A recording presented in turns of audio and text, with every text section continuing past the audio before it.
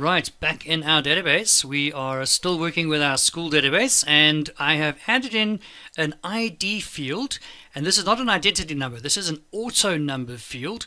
So this is just to show you how Microsoft Access can actually then keep track of all your records for you and give them a unique um, what's the word I'm looking for? Unique field, something unique about each record. Okay, but we're going to look at, according to my notes, default value. What does that mean, default value? Well, let's see. If I go to grade, for example, and I'm looking at my field properties for grade, if I go down my list, here's one that says default value, and I can click over there.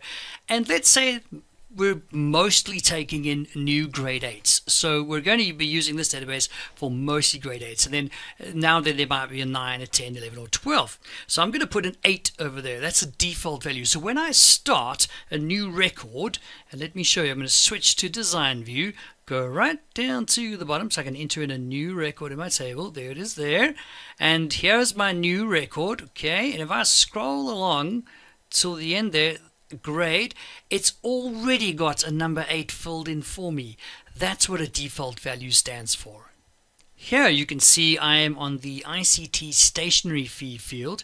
At the moment it is short text. So if we look at that in our table, it's right at the end. It's numbers, but I don't want numbers in a number format, I want currency because this is money, okay? So switch back to design view, ICT stationery fee. I'm going to change my data type into currency.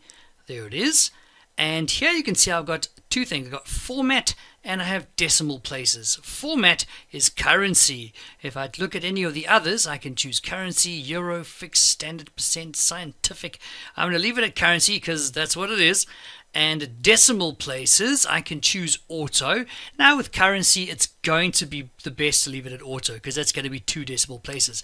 But you could specify if you wanted to zero decimal places, one, two, three, etc., etc. I'm to leave it at auto. So that is my default settings there.